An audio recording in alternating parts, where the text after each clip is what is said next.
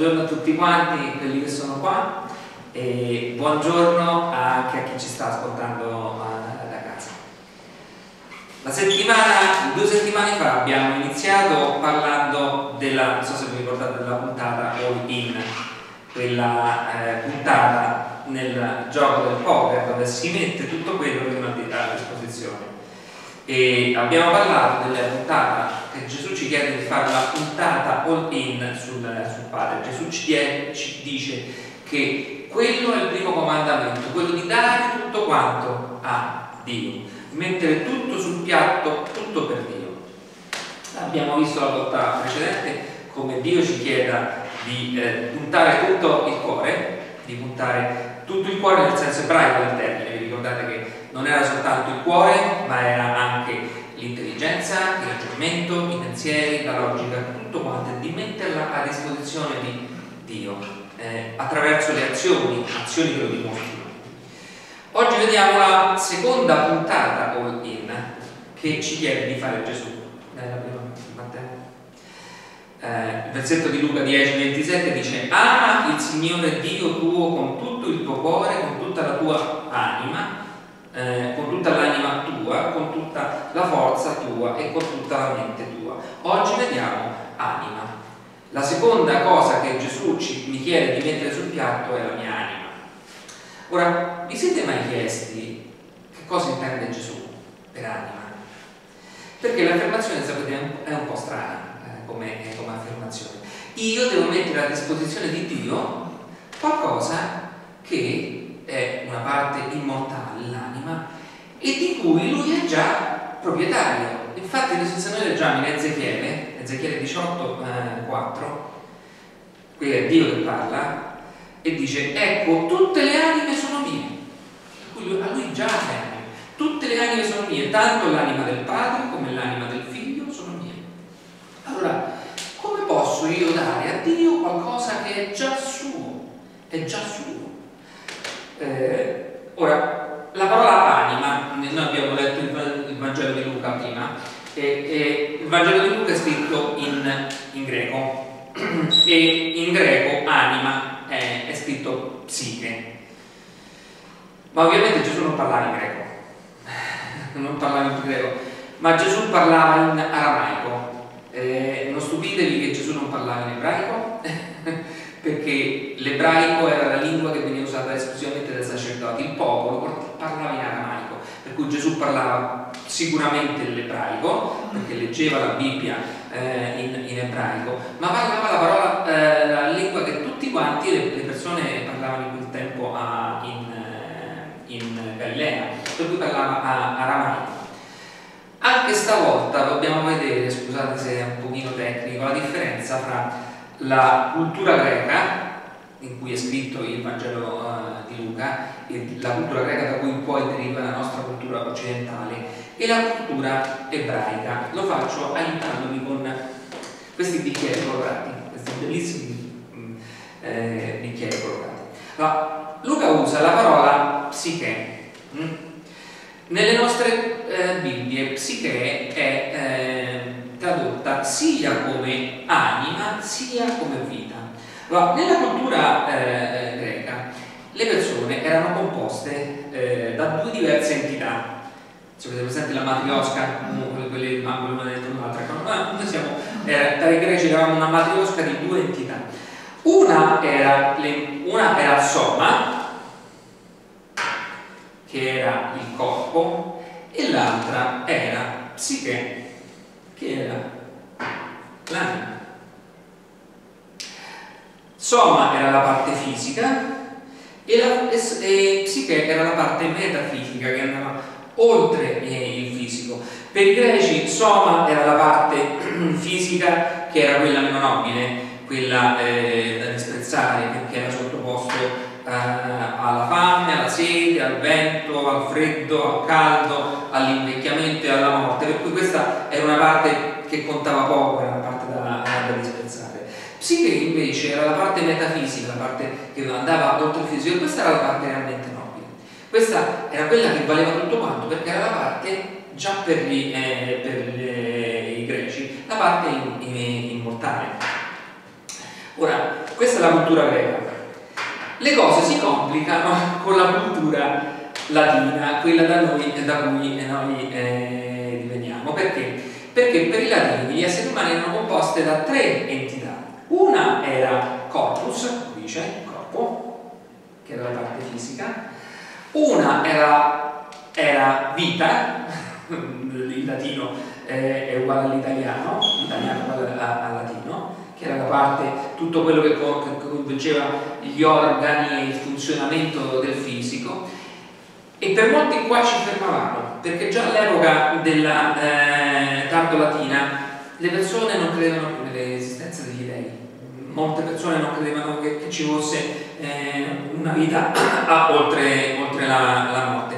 E poi per molti, per alcuni, c'era la parte eh, metafisica, anima, soprattutto per, eh, per, per, chi per, chi credeva.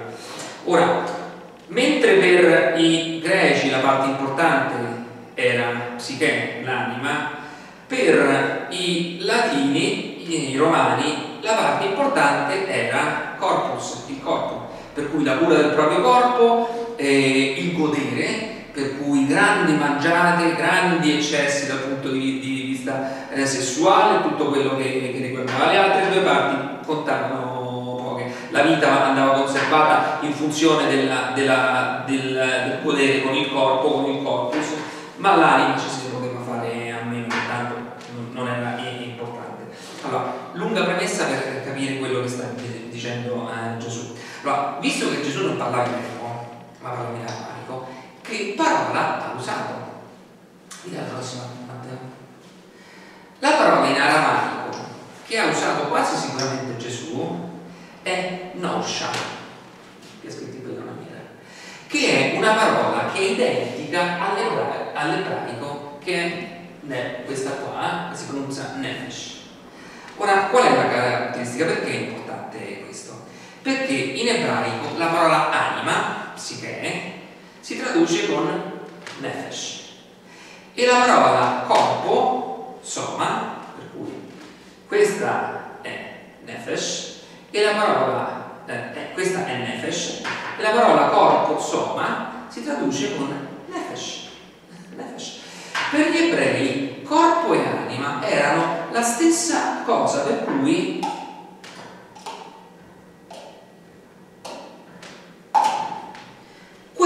era la cultura greca, era tutto quanto, erano inscindibili, il corpo, il corpo senza, eh, il corpo senza eh, la vita e, e l'anima non era possibile che esistessero e l'anima da sola senza il corpo e la vita non era possibile che sussistesse per cui era un tutt'uno indivisibile. Corpo, anima e vita erano la stessa eh, cosa.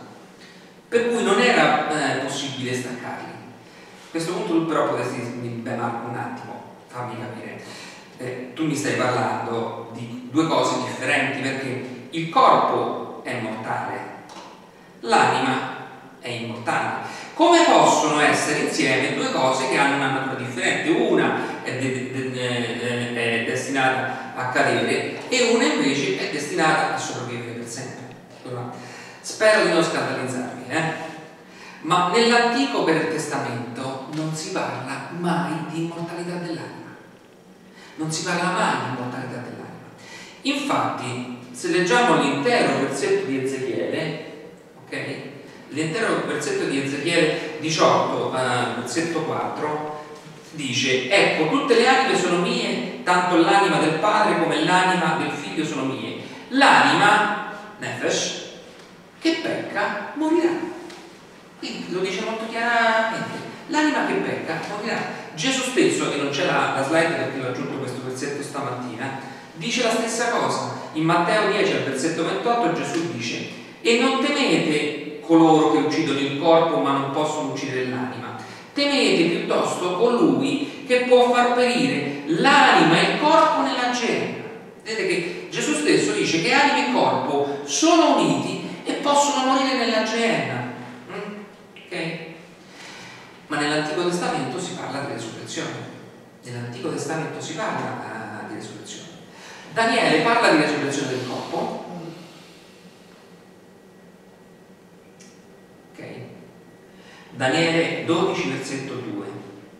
Molti di quelli che dormono nella polvere della terra si risveglieranno gli uni per la vita eterna, gli altri per la vergogna e per l'eterna infamia.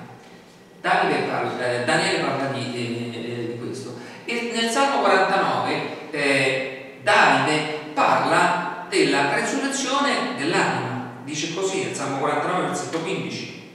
Poiché eh, ma Dio riscatterà l'anima mia, Nefesh, dal potere del soggiorno dei morti perché mi prenderà con sé.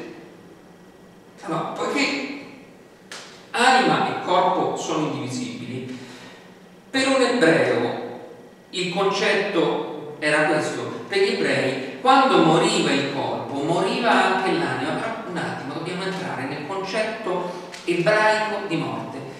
C'è il telecomando della, della televisione? Eh, aspetta, eh. Il concetto degli ebrei è, è, è, differente da quello nostro. Per noi quando muore il corpo c'è la morte, soprattutto nella, nella nostra cultura eh, materialistica.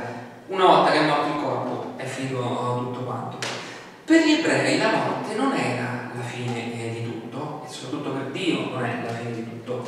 Il corpo tornava a essere polvere, così come era eh, eh in Genesi 2, quando Dio aveva fatto il corpo da, dalla polvere e l'anima finiva in quello che dice David, David dice eh, il soggiorno dei morti. Era un posto fisico, che era lo Shoel, in greco è, è, è Hades, che, dove le anime stavano in attesa della risurrezione. Vi faccio un esempio banale. Allora, è come spengere questa, questo video. Allora, io qui ho messo le mie note, no? Se io spengo il video, ok, le mie note eh, non ci sono più.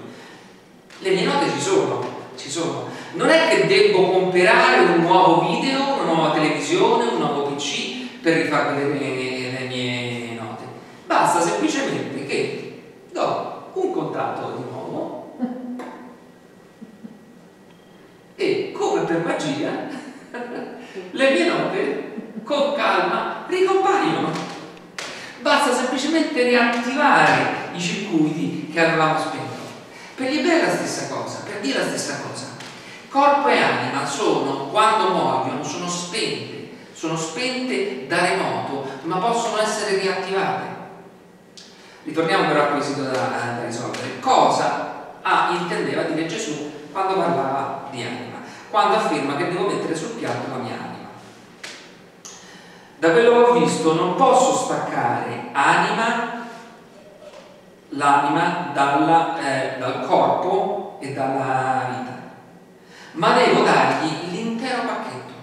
Gesù ci sta dicendo, quando parla di anima, che tu devi dare l'intero pacchetto di anima, corpo e vita a Dio. Dalla prossima volta. Questa è una paralisi che possiamo fare nel versetto. Ama il Signore Dio tuo con tutto il tuo corpo, con tutta la tua vita e con tutta l'anima tua, tutto quanto. Gesù ci sta dicendo non soltanto di dare una parte, una parte, ma di dare tutto quanto il pacchetto. Ma come faccio? La domanda è come faccio a mettere sul piatto di Dio anima, corpo e, e, e vita? Mi dai la prossima Matteo? Pietro ci dà qualche suggerimento.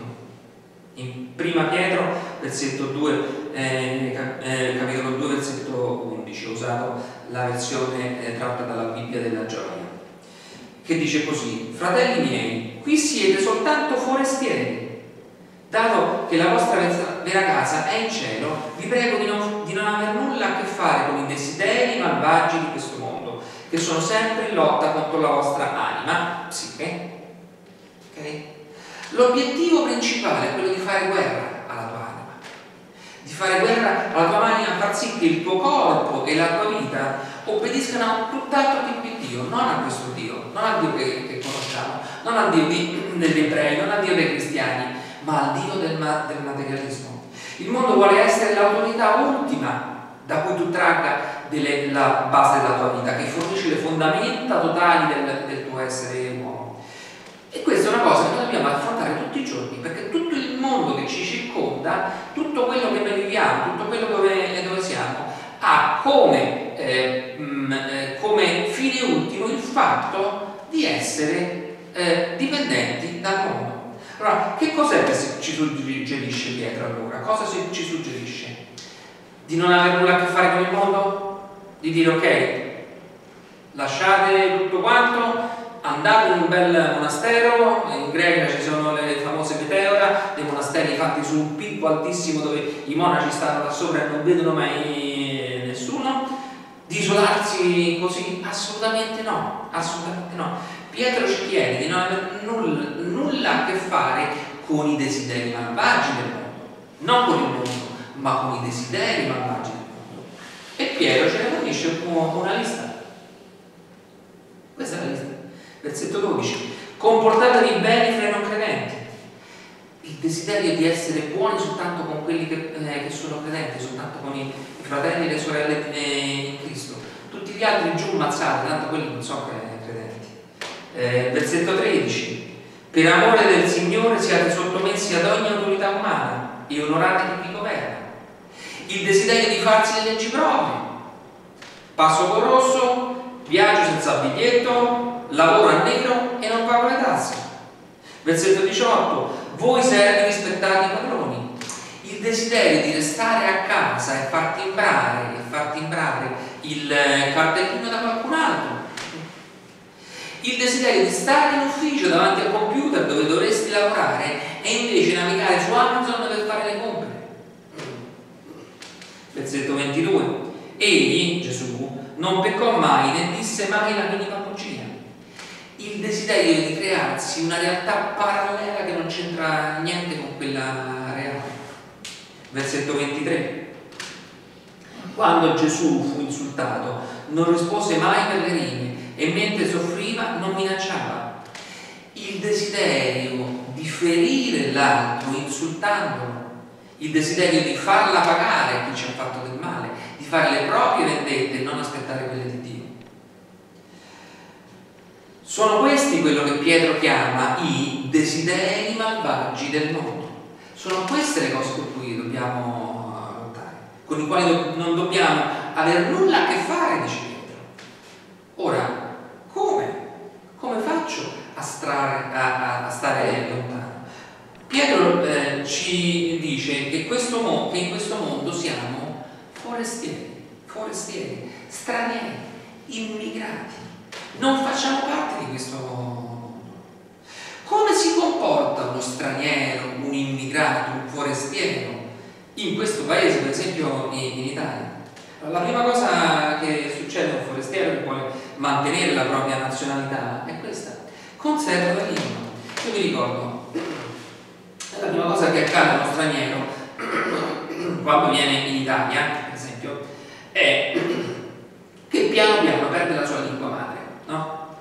Perché comincia a distaccarsi dal vocabolario che c'è in patria, per cui ci sono nuove parole che sorgono in patria sua e che lui non conosce più, per cui 30 anni dopo parla come una persona, se torna nella propria patria, parla con, una, con dei vocaboli che non si usano più da 30 anni, scatenando l'ilarità delle, delle persone intorno. Per cui la prima cosa che, che succede che smette di pensare nella sua lingua, smette di conoscere le parole nuove e perde anche l'accento, si sente che non è più l'accento giusto quello, eh, quello suo.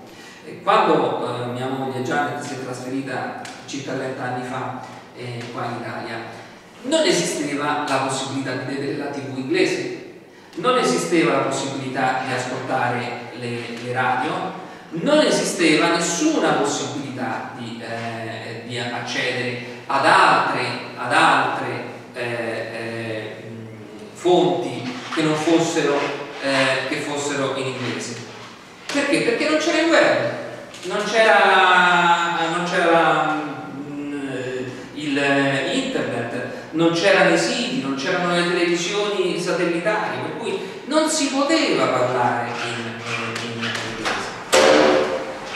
ma per non perdere la lingua, per non perdere la lingua, noi avevamo operato una piccola radio ad onde corte.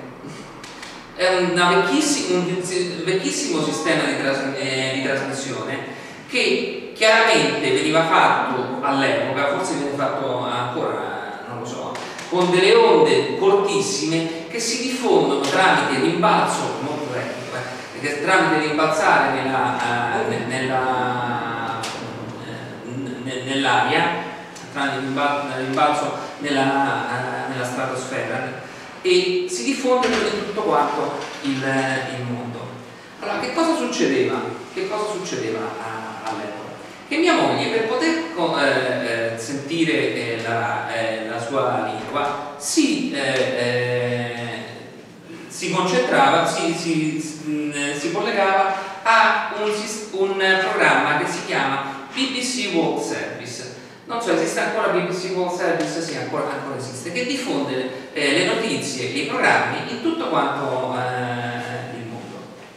Per cui in pratica riusciva a conservare la propria lingua ascoltando BBC World Service. Allora, come possiamo noi come stranieri alla terra conservare la nostra lingua e il nostro eh, linguaggio? Allo stesso modo dobbiamo, come figli di Dio, continuare ad ascoltare la nostra lingua madre. La nostra lingua madre qual è? La lingua che abbiamo avuto quando, quando siamo nati di nuovo. Questo significa semplicemente leggere la Bibbia. Leggere la Bibbia ogni giorno. La seconda cosa che fa uno straniero è che conserva le tradizioni. L'altra cosa che venendo in Italia già rischiava a ripetere erano le proprie tradizioni le, le tradizioni che erano eh, tipiche della, della, propria patria. Per esempio, tra, tra poco sarà eh, eh, eh martedì grasso. Martedì grasso in Inghilterra eh, c'è la tradizione di mangiare i pancakes, che sono delle frittelle fatte con l'uovo, latte e, e basta. E fa farina, okay. ci sono dei de, de pancakes che ci si mette sopra col salato, il dolce, che sono buonissimi, noi tra poco le mangeremo, peccato che ci abbiamo il lockdown, se no vi invitiamo a, a, casa. Allora, noi abbiamo mantenuto quella tradizione che è una tradizione britannica, perché? Perché fa sentire Janet come una parte ancora della sua patria, madre patria. È importante mantenere le tradizioni perché ci ricordano, ci ricordano che la nostra vera patria non è quella dove siamo, non è quella dove stiamo in si fanno anche le cose da, da, noi, si fanno in una maniera differente da come le facciamo in, in posto. Allo stesso modo, noi come figli e figlie di Dio dobbiamo mantenere le tradizioni che Dio ci ha indicato. Una delle tradizioni che ci ha indicato significa eh, eh, è quello di incontrarsi. Mantenere le tradizioni che Dio ci ha indicato significa semplicemente venire la domenica fisicamente. Io faccio un applauso a quelli che sono qua oggi. Eh, con tutto, per carità, oggi è una giornataccia per, per venire perché erano le strade ghiacciate. Però lo streaming che stiamo facendo non è chiesa, cioè è un aiuto alla chiesa, ma è quello che si chiama in, eh, in gergo un succedaneo. Cioè, avete mai, avete mai comprato il caviale? Io no.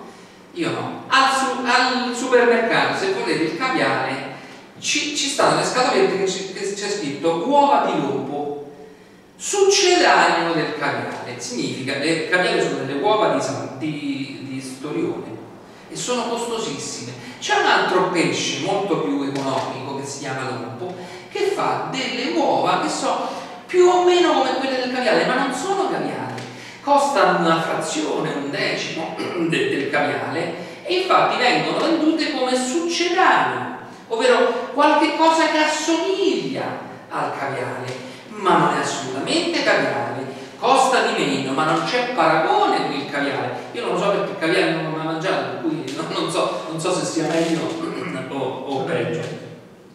Però è un succedaneo. Lo streaming da casa è un aiuto quando non si può venire, tipo oggi che c'erano le strade ghiacciate, moltissime persone hanno deciso di, di eh, saggiamente di rimanere a casa per per evitare eh, placche di ghiaccio e è un aiuto ma se è su base settimanale se tu che mi stai ascoltando segui soltanto una, una chiesa streaming tu non fai parte di una chiesa tu stai vedendo uno show, come potrebbe essere qualsiasi altro tipo di show. Non illudere te stesso, non illudere te stessa che tu fai parte di una chiesa perché vedi uno streaming, non ne fai parte, stai vedendo uno show. Dio ti chiede di avere le stesse abitudini che hanno sempre avuto i cristiani, i credenti, di incontrarsi fisicamente, di avere comunione fraterna con l'altro. La terza cosa che, ci, che è possibile fare è chiama a casa. Quando Gianna si è trasferita, ripeto, circa 30 anni fa, non esisteva Whatsapp, Whatsapp eh, non c'era. E l'unica maniera di essere in contatto era telefonare. Ora il problema era uno, telefonare costava una cosa enorme, delle bollette mostruose, all'epoca pagavamo 120, 150 mila lire dell'epoca, di più 200, 250, 300 mila lire dell'epoca, per delle telefonate di 10 minuti, ma sì, 10 minuti, 5 minuti per dire ciao mamma, difatti era più sua mamma e suo papà che telefonavano dall'Inghilterra dove già c'erano più compagnie eh, eh, telefoniche, perché da noi costava tantissimo, costavano un'enormità. Però Janet lo faceva lo stesso. Janet telefonava lo stesso perché questo voleva poter dire ascoltare la voce dei propri genitori. La voce dei suoi genitori, raccontargli quello che era accaduto qua in Italia, chiedere suggerimenti, magari chiedere consigli su qualche, su qualche, cosa che doveva fare. Perché? Perché era fondamentale perché per lei rimanere, lo è tuttora è fondamentale rimanere in contatto con, con i suoi genitori. Lo sapete che Dio ha sempre avuto WhatsApp, da sempre. Dio ha inventato il WhatsApp sin da, da, dall'inizio dei, dei tempi. Una linea completamente gratuita, dove non si spende niente, sul quale tu puoi chiamare a ogni ora del giorno e della notte, tanto per Dio non fa differenza giorno e notte. E quella, quella si chiama preghiera. Si chiama preghiera quella chiamata che da, eh, fatta ad un padre che è sempre disponibile, che è desideroso di sapere che cosa stai facendo, quello che fai in quel momento, cosa ti accade, ed è pronto a parlarti in quel momento, pregando, pregando, per darti dei suggerimenti. Questo significa essere in contatto, essere con, eh, in contatto. Eravamo partiti da, dalla domanda di cosa volesse dire eh, eh Gesù quando ci dice di dare tutta l'anima. Quando ci dice dai l'anima, tutta l'anima tua a Dio. L'anima tua non è soltanto soma, corpo, non è soltanto vita, non è soltanto psiche, anima. L'anima è tutto quanto, tutto quanto. Gesù ti sta chiedendo di dare tutto quanto, di dare il tuo corpo, di dare la tua vita, di dare la tua anima, tutto quanto a Dio. Per adempiere al comandamento, la seconda parte del mia, della mia puntata all in è amare Dio con tutto me stesso vita, corpo, anima, perché sono un tutt'uno, sono inscindibili l'una dall'altra. Capire che la mia patria non è questa, ma che la mia cittadinanza, come dice Paolo, è nei cieli. E comportarmi come uno straniero, vivendo nel posto dove sono, ma obbedendo alle leggi del Padre. Fermiamoci a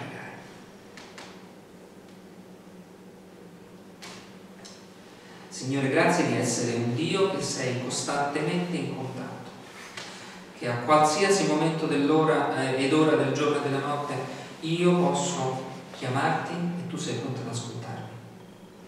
Signore, oggi, oggi io ti voglio pregare queste cose. Io voglio essere uno straniero in questa terra. Voglio essere, vivere su questa terra, ma seguendo le, le, le tue leggi e voglio non seguire i desideri malvagi del mondo.